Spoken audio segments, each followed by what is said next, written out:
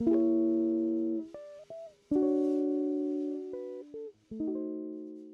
everybody, and welcome to part two of my new Books for Art Inspiration series. I'm here with my two new little bird friends that you may have seen me painting in another video. We're here to talk to you today about three books that have inspired me or are inspiring me on my creative journey. All of the books I talk about in this series are from my own collection of books that I've collected with my husband since we were at art school about 20 years ago. We have quite a lot of them.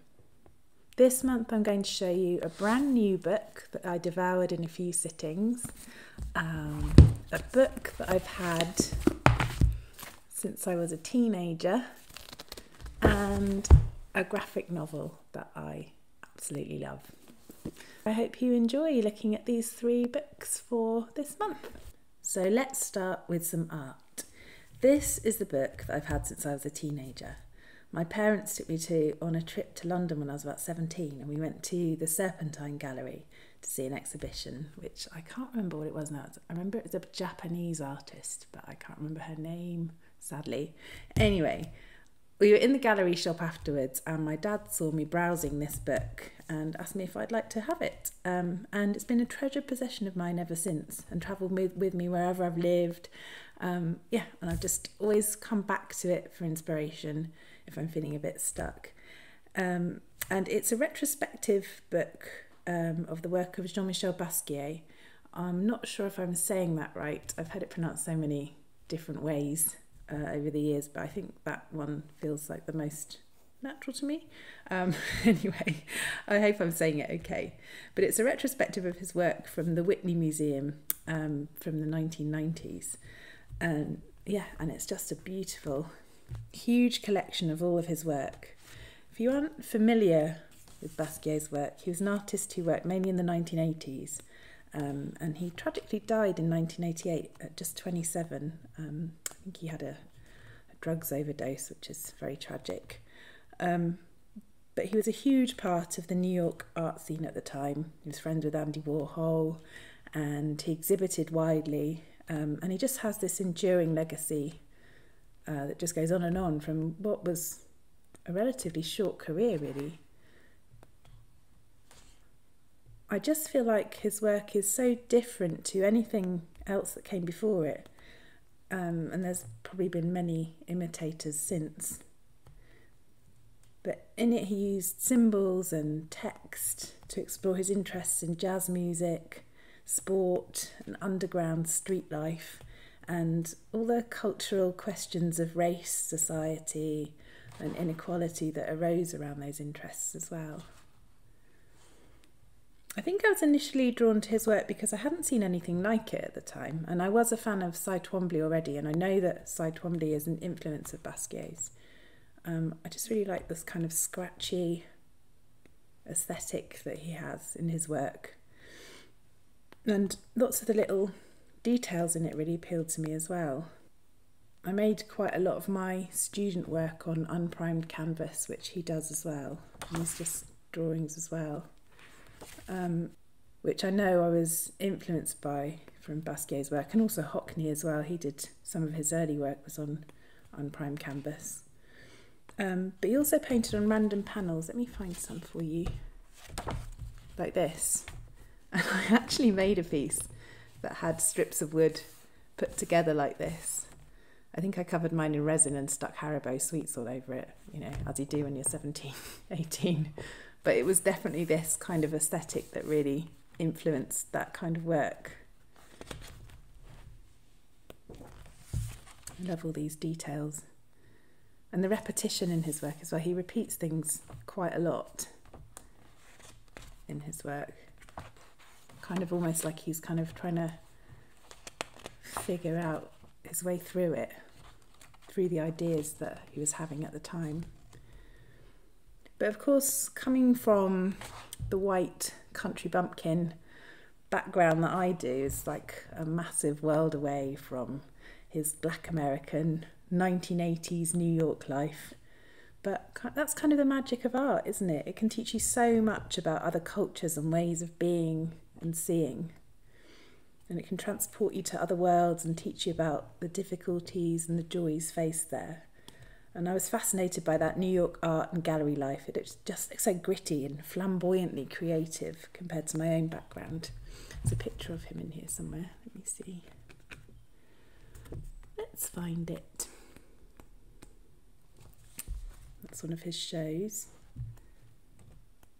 There's just lots of black and white pictures of his studio and his life. It's a big one. Where is it? There it is. There he is in his studio, 1985. But yeah, I just really like how he used words in his work so much as well.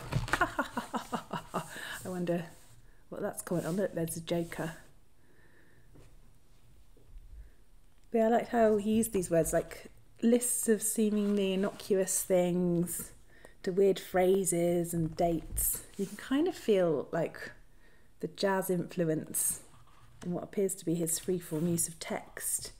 And that also inspired me. I've always gone through phases of using my own words in my art, and I think seeing this work really on, early on kind of influenced that part of my style.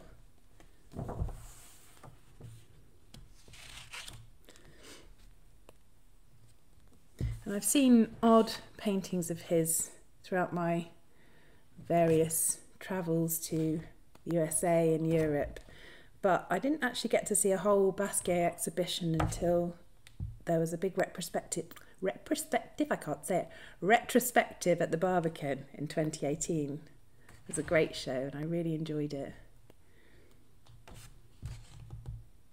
So yeah, I think this book is out of print now, but there are a few copies of it available on eBay for wildly varying prices. Sadly, I think um, mine is one of the later prints of it, the eighth edition from 1998, so I don't think it's worth that much. But even if it was a first edition and worth thousands, I still don't think I'd sell it. It's such a valuable book to me, not only um, for the content, but also how I acquired it. It reminds me of that, that trip to London with my parents. Good times. So, anyway, that's that one. Jean Michel Basquiat.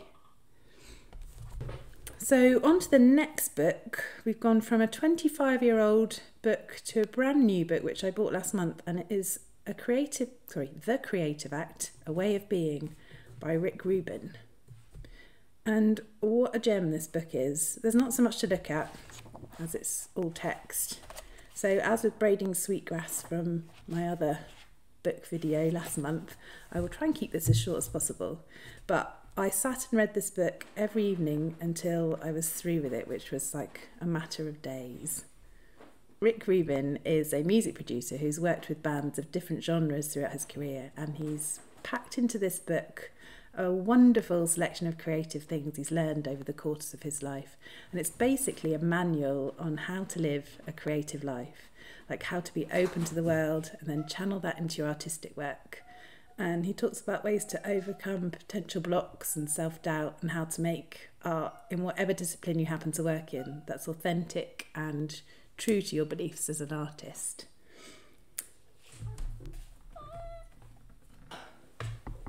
We've got a visitor. He always knows when I'm recording. Naughty cat. Go away. I love you. So where was I? Where was I? So honestly, I could not have read this book at a better time as I was embarking on making that large painting I showed you right at the beginning last month. Um, and so much of what he said has been percolating in my mind from other things I'd read or listened to recently, and it basically crystallized a lot of what I had been thinking about. Um, yeah, there was just a whole lot of synchronicity happening when I read this, put it that way. There's just lots of gems inside it.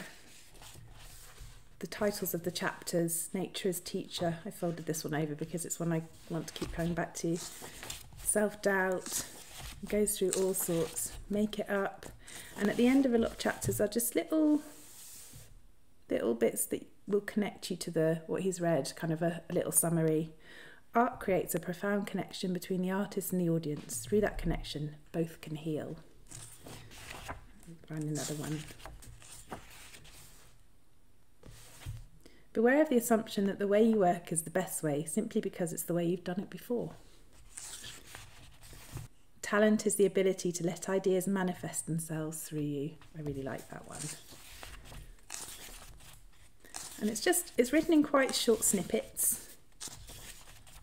No chapters are very long and they're quite little chunks. The work reveals itself as you go. I did read one review of it that kind of described it as has, having your stone mate round, waxing lyrical late into the evening. And I am paraphrasing here, I can't remember it exactly. It was when I was buying it, I just had a flick through some reviews, and this didn't put me off at all. Um, but yeah, like having somebody there just going on and on about this mystical stuff they're into, yeah. And it kind of does have undertones of that, but the creative act and living a creative life is a magical thing to be able to do, I think. So, yeah, to be able to tune into that alchemy needed to make something powerful, you have to think deeply about the world. And this book is a great read for anyone wanting to empower that connection within themselves or deepen their understanding of what it is to be a creative. And, and at times it does lean more towards the creation of music. I mean, he is a music producer after all. Um, but I absolutely loved it. I love to learn from other disciplines anyway, and I'll be dipping back into it whenever I need to spur on that creative impulse. Um, yeah, if you want to live a creative life, I urge you to go and get this and read it. You won't regret it one bit. And lastly, we change tack again with Isabel Greenberg's Glasstown, which is a fictionalised novel of the young Bronte sisters and their brother Branwell. Now, I know it makes me sound like a bit of a heathen, but I don't know much at all about the Brontes. Oh, hello. Back again. Come on, off you go. This is why my desk is covered in cat hairs. He just he just comes along, has a little stroll about, drinks some paint water, and off he goes again. So yeah, I don't really know much about the Brontes, but I do know that they wrote the classics like Jane Eyre and Wuthering Heights between them. But aside from that, before I read this and then looked them up further, I knew very little about them and their lives. So I went into this reading it kind of cold and I really liked it. So the story follows the young Brontes and their imaginations writing stories about a place called Glasstown, which they did write about in real life. And it's kind of how they follow their own passions within the Glasstown universe and how their real lives get intertwined with the imaginary. Um, I won't give away any more, just in case you do want to give it a try. Um, so I'll come at this from a stylistic point of view rather than a literary one. Although I will say that I really like the kind of more modern turns of phrase occasionally used by the characters. There's something quite Wes Anderson about it, and it's really entertaining. So I was drawn to it after seeing someone post about it on Instagram, and it was Isabel Greenberg's drawing style that really hooked me in. I hadn't heard of her before I saw this post. Um, and at the time, I was really obsessed with the idea of making a graphic novel. Um, I do like to write sometimes too. Um, and I've worked on a couple of passion projects in that vein, and seeing her really easy looking, kind of scribbly style where the characters don't look exactly the same in each panel was so refreshing. I love all the tiny hands and feet too. Tiny foot. just funny drawings, they're brilliant. And I just really also like the way her own font has been used throughout. It kind of really works so well with the style of the drawing. And I particularly like the imaginative imagery and this scene of the siblings getting ideas from other books and the little characters coming out of those books. Look at that. And into their world. And then over the page, them looking at the new town they built. Oh, what a marvellous thing we built. What should we call it, Tally? Glasstown. And then over the page again, this scene of them excitedly writing more characters and plots. And then there are so many little bits which I also love. I did bookmark one of them here. If I don't marry him, I will literally die. Flump. She just falls to the ground at her father's feet. It's just brilliant. I really like that. So, yeah, it's a really gorgeous graphic novel. So much imagination and world building has gone into it. Um, plus, reading a graphic novel is a great and different experience to reading a straight up fiction novel. And I just think this one's a great way to kind of ease yourself into that kind of reading. Look at these. I just love the composition of them. Really lovely. So that's it for this month. I hope you enjoyed hearing about this selection of books. I will write their names all in the notes underneath this recording as well. And if you have any suggestions on the sort of book you might like to hear about, please do leave me a comment and I will see what I have in my collection that I may be able to talk to you about next time. Don't forget to subscribe and give this video a like if you enjoy it. Thanks for watching.